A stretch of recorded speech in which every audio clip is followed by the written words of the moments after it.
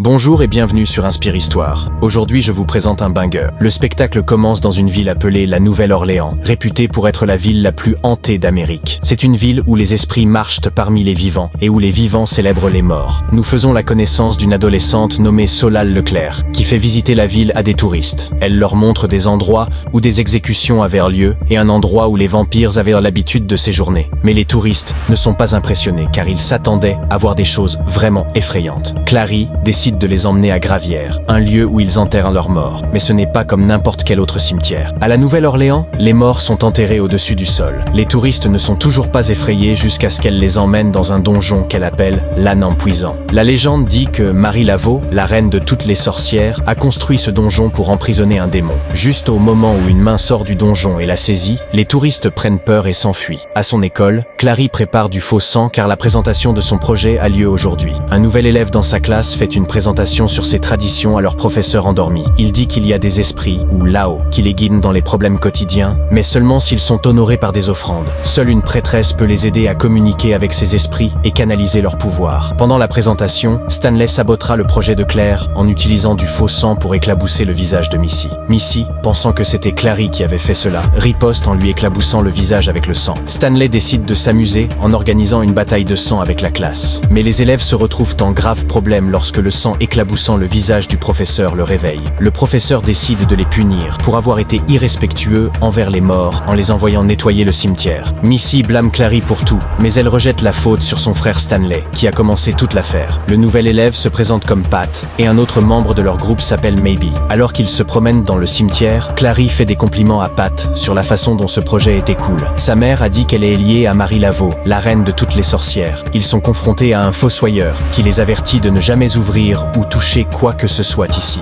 Il les avertit spécifiquement de ne jamais s'approcher d'une tombe de Napuisant, disant qu'elle est maudite. Missy se moque de Clary en disant qu'elle a peur, et si ce n'est pas le cas, elle devrait y aller. Clary entre dans un donjon napuisant, et après un moment, ils entendent ses cris. Les autres se précipitent à l'intérieur pour la sauver du danger dans lequel elle se trouve. Et Pat est terrifié en voyant du sang sur le sol. Ils sont encore plus terrifiés en voyant Clary morte sur un arbre. Mais il s'avère qu'elle joue simplement la morte pour les embêter. L'arbre commence à briller en rouge, et tout le lieu commence à trembler. Ils fuient tous par peur et se cachent dans la maison du fossoyeur, qui n'est pas là. Le fantôme de Marie Laveau, la reine sorcière, apparaît devant eux, les enfants choqués pensant que les histoires à son sujet n'étaient que superstitions. Elle dit à Clary qu'elle a brisé son sort et a maintenant libéré un mal ancien déterminé à détruire ce monde. Comme elle est déjà morte, c'est maintenant à eux de stopper le démon. Elle appelle les quatre esprits de sorcières les plus puissants et leur ordonne d'accorder à chaque enfant l'un de leurs pouvoirs. On nous montre la scène où le démon se réveille et s'envole du cimetière. Missy, Stanley et Maybe ne sont pas intéressés par tout cela et décident de continuer leur vie quotidienne. Pat emmène Clary chez sa tante Alma et lui raconte tout ce qui s'est passé dans le cimetière. Elle leur dit que des choses étranges vont leur arriver. Ils voient Maybe sur le bord de la route et juste au moment où ils lui font signe, il devient soudainement invisible. Peut-être se retrouve dans le monde des morts. Il peut encore voir Clary et Pat, mais ils ne peuvent pas le voir. Stanley joue au handball mais ne ressent pas la même chose. Missy assiste à sa répétition de danse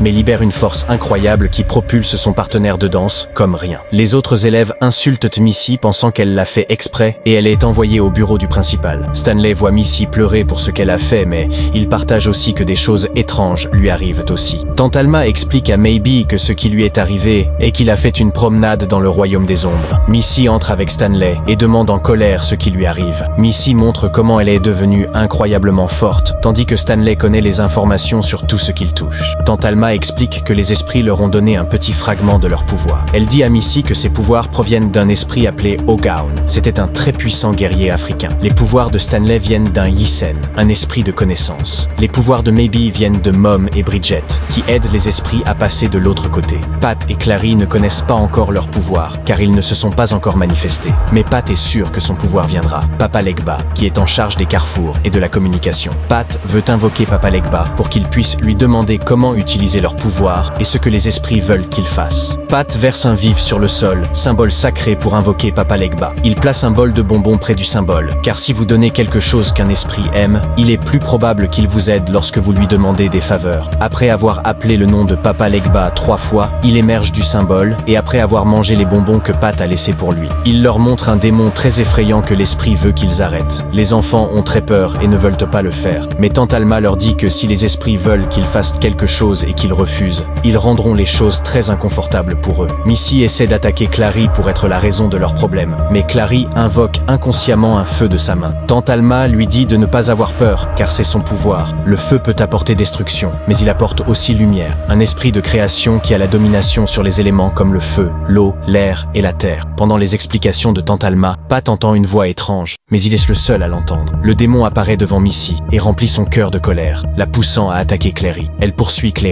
qui se cache. Missy attrape Clary et tente de la jeter du toit. Les autres implorent Missy de ne pas le faire. Mais le démon qui est dans sa tête la tente de la lâcher. Un monstre appelé Rougarou l'arrête. Grâce au pouvoir de communication de Pat, il est capable de comprendre que le Ruger a été envoyé par sa tante pour arrêter Missy. Missy défait facilement le Ruger et continue d'attaquer Clary. Missy tombe accidentellement d'un bâtiment et le démon la quitte. Pendant que Clary pleure en s'excusant auprès du corps inconscient de Missy, Maybe se retrouve dans le royaume des ombres. Il leur dit qu'ils n'ont pas beaucoup de temps parce que Missy est en train de mourir. Le Ruger révèle qu'il est un gars nommé Lu. Il lui dit que son genre guérit très rapidement. Il peut sauver Missy, mais il devra la transformer et elle devra faire un choix. Maybe entre de nouveau dans le royaume des ombres pour rencontrer l'esprit de Missy. Missy hésite à dire oui car elle sera un monstre, mais Maybe lui conseille qu'être un monstre est mieux que de mourir. Missy accepte d'être transformée. Le Rugerauer la mord soudainement et elle se réveille. Ses os brisés guérissent immédiatement. Lu lui dit de garder son secret en tant que Rugerauer et il gardera le leur car si quelqu'un le sait, ce sera dangereux pour eux. Missy commence à se transformer en Rugerwear, obligeant Lou à la maintenir attachée, car quelqu'un se transformant en Rugerwear pour la première fois aura un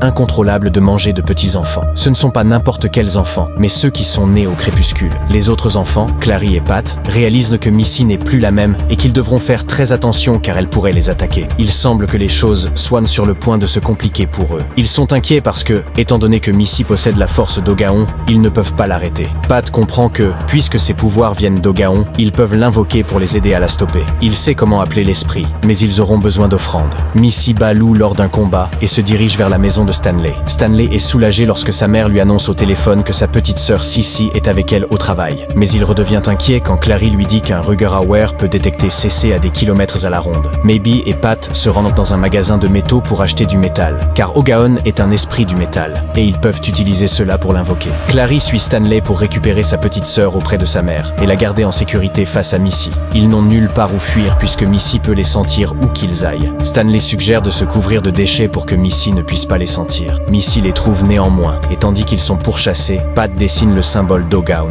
et pendant qu'il chante son nom, Maybe commence à frapper un métal en répétant. Tout le fer des environs se rassemble et Ogaon apparaît soudainement devant eux. Missy attaque Ogaon, mais il ne se défend pas. Alors que Missy se fatigue, Ogaon lui dit de combattre le monstre dans son cœur. Missy reprend forme humaine et, ayant accompli sa tâche, Ogaon disparaît. Missy s'excuse auprès d'eux, disant qu'elle n'a pas pu se contrôler. Liu arrive avec un groupe de Rugerauers et lui dit qu'il va lui apprendre leur mode de vie. Les Rugerauers ne s'entendent pas avec les vampires et leur faiblesse est le Kemoma qui peut les tuer. Mais Missy s'en va, n'étant pas intéressée par tout cela. D'autre part, le maire de la ville est vu dans un cimetière, pleurant la mort de sa chère femme Cassie. Un Rugerower l'a tué et il veut se venger. Le démon apparaît et lui dit que s'il l'aide à retrouver ses pouvoirs, il l'aidera à obtenir sa vengeance. Le démon ordonne au maire de voler un instrument appelé le Garo Rast au vampire, qui a la capacité de convoquer des bêtes démoniaques de l'enfer. D'autre part, les adolescents sont inquiets que le démon qui a possédé Missy puisse en fait utiliser quelqu'un d'autre et pousser cette personne à tuer quelqu'un. Puisque le démon existait à l'époque de Marie Laveau, cela signifie qu'il devrait y avoir un registre de lui. Étant donné que Stanley a le pouvoir d'acquérir des connaissances sur tout ce qu'il touche, Clary l'envoie, lui et Pat, à la bibliothèque de l'école pour trouver des informations à ce sujet. Peut-être, et Clary remarque un fantôme dans l'école. Clary sent que le fantôme essaie de lui dire quelque chose et demande à Maybe d'aller dans le royaume des ombres pour découvrir ce qu'il veut. Mais il ne veut pas y aller, car voir les morts l'effraie beaucoup. Pendant ce temps, dans sa quête du démon, le maire entre dans le château du roi des vampires appelé Trevor, qui est vu en train de danser avec sa femme. Non seulement Clary et Maybe, mais Pat. Stanley et Missy sont pourchassés par le fantôme de l'école. Selon leurs recherches, Pat leur dit que le fantôme est la personne qui a construit l'école. Elle était vivante à l'époque de Marie Laveau. Cela signifie que le fantôme essaie peut-être de leur dire quelque chose sur le démon. Mais Maybe trouve le courage d'utiliser ses pouvoirs pour aller dans le royaume des ombres et parler au fantôme. Malheureusement, le fantôme ne peut pas parler, mais lui laisse un indice. Il découvre que le fantôme veut qu'il se rende dans le placard de l'école. Lorsqu'ils y arrivent, ils découvrent un passage secret. Là, ils trouvent la photo du fantôme, Alvina Brulint, et son squelette au sol. Alors que Clary se demande pourquoi la bouche d'Alvina Brulint est recouverte de cire sur sa photo. Maybe utilise ce que le fantôme lui a donné pour enlever la cire. Un vent très puissant circule autour d'eux, et Maybe retourne dans le royaume des ombres. Fantôme peut maintenant parler grâce à Maybe pour avoir brisé sa malédiction. Elle leur explique qu'à son époque, il y avait tellement d'incendies et de maladies. Ce n'étaient pas des accidents, mais le travail du démon. Alvina Brulint raconte comment elle était dans son bureau lorsqu'elle a vu le démon pour la première fois. L'école a soudainement pris feu, ce qui l'a poussée à avertir tout le monde dans chaque classe. Elle a réussi à sauver tout le monde, ce qui a mis en colère le démon. Le lendemain, le démon apparaît et révèle qu'il se nourrit des peurs des gens. Il a brûlé l'école pour avoir un festin éternel sur les enfants, mais elle a gâché cela. En raison de cela, le démon l'a maudite, la condamnant à ne plus jamais parler. Elle dit à Maybe que le nom du démon est Belial, qui acquiert des pouvoirs en consommant les peurs et fera des choses monstrueuses pour en créer. Si le démon est vraiment revenu, tout le monde est en danger. Maybe raconte aux autres tout ce qu'Alvina lui a dit, les rendant effrayés. Le maire vole l'instrument au vampire, et selon les instructions du démon, il l'utilise pour réveiller les bêtes démoniaques appelées les grunch. Les adolescents se rendent à l'arbre où le démon avait été autrefois piégé. Ils voient des empreintes sur place et découvrent que quelqu'un aide le démon. Un festival est sur le point de commencer et ils croient que le démon va causer des problèmes là-bas. Ils doivent trouver le démon avant qu'il ne fasse de mal à quelqu'un. Tantalma leur dit qu'ils ne peuvent pas le faire sans Missy, car elle est la plus forte parmi eux. Mais Clary n'est pas d'accord avec cette idée, car Missy a une mauvaise attitude, mais elle n'a pas vraiment le choix. Ils se rendent tous chez Missy pour demander son aide, mais comme prévu, elle n'est pas intéressée en raison du rendez-vous qu'elle a avec son petit ami. Missy a aussi un problème de son côté. Elle continue à se transformer en Ruger Auer de manière incontrôlable. Elle rencontre Lou pour comprendre pourquoi cela lui arrive même s'il n'y a pas de pleine lune. Lou explique qu'être un Ruger Auer est différent des loups-garous. Ce qui déclenche sa forme de bête, c'est lorsqu'elle perd son calme. Le maire envoie les grunch là où se déroule le festival pour que Belial puisse se nourrir de la peur des gens, ce qui lui donnera assez de pouvoir pour ressusciter. Lou commence à entraîner Missy pour contrôler sa colère afin que la bête en elle puisse être maîtrisée, tandis que Clary, Pat et Stanley attendent au festival que le démon attaque. Maybe les informe que des vampires sont sur le point de vider le sang de son frère. Ils se rendent au club où travaille son frère, mais il ne semble pas être en danger.